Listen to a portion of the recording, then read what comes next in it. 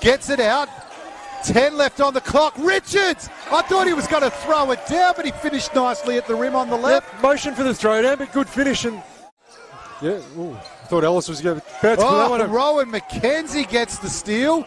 Richards goes all the way, finishes on the reverse side.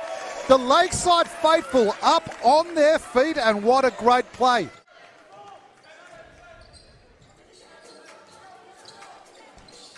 Max Richards, who's been aggressive all night at the rim, and that change of speed from McKenzie is just devastating.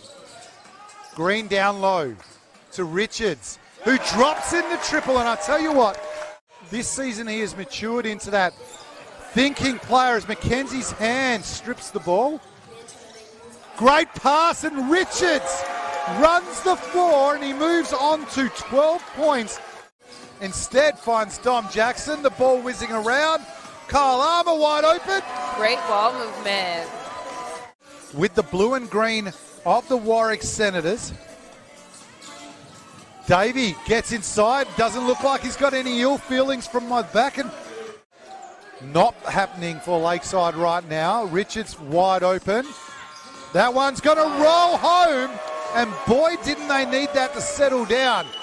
Finds himself open for the first time, draws the double, finds Richards in the corner, and a three goes down.